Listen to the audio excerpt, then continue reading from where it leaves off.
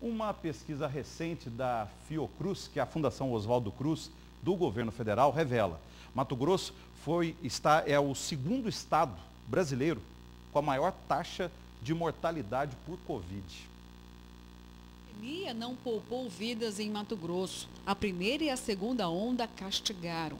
Muitas vidas se perderam. O luto por aqui foi diário, colocando o estado como o segundo maior em mortalidade causada pela Covid-19 entre os estados brasileiros, ficando atrás apenas do Rio de Janeiro. Foram contabilizadas todas as mortes causadas pela doença desde o início da pandemia. Em Mato Grosso, foram 389 mortes a cada 100 mil habitantes, com mais de 14 mil mortes. Ainda segundo a Fiocruz, em Mato Grosso, teve a triste marca de 32 mortes de grávidas pelo vírus. No estado também já foram identificados 90 casos de variantes da Covid, sendo 80 da cepa gama, 2 da alfa e 4 da delta.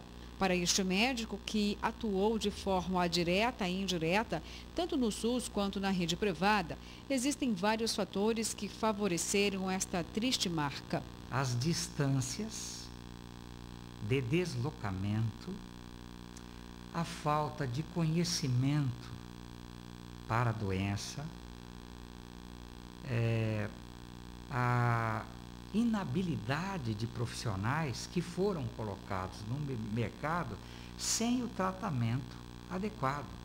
E todas as dúvidas que eram inerentes à doença que nós tínhamos naquele começo e na, no auge da pandemia. Durante os períodos de maior contágio em Mato Grosso, a rede hospitalar ficou saturada e o pouco conhecimento sobre o vírus acentuaram o número de mortes. O cenário também pode ter como consequência a falta de estrutura na porta de entrada do SUS, o primeiro atendimento tendo prejuízos, melhorando apenas na região metropolitana com o centro de triagem da Covid por parte do governo do estado. Essa maneira de fazer, de abordagem caso a caso, individualizada, com orientações e acompanhamento, foram fundamentais para modificar né, o desfecho desfavorável, que foi o óbito. Né, a gente queria modificar isso. Então, como?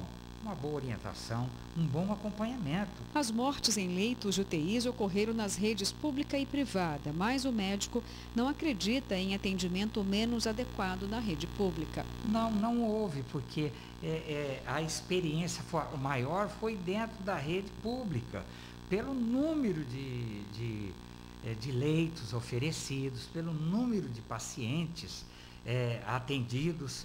Então, agora, é todo um contexto, um contexto que é, é, os profissionais envolvidos, é certo que você tem é, hospitais que tem um time que a gente fala, um time muito bem treinado. E tem, por vezes, em outro hospital que tem um staff ou staffs, mas o time todo não é tão bem treinado. Para este cenário desastroso não se repetir, a vacina seria a melhor alternativa na avaliação do cardiologista. A imunização é um divisor de águas. A gente sempre falou, falou, ó, a vacinação é um divisor de águas para a pandemia. É certo que existem dúvidas. Imagina você fazer às pressas vacinas e praticamente os testes necessários e o tempo foi tudo muito precoce.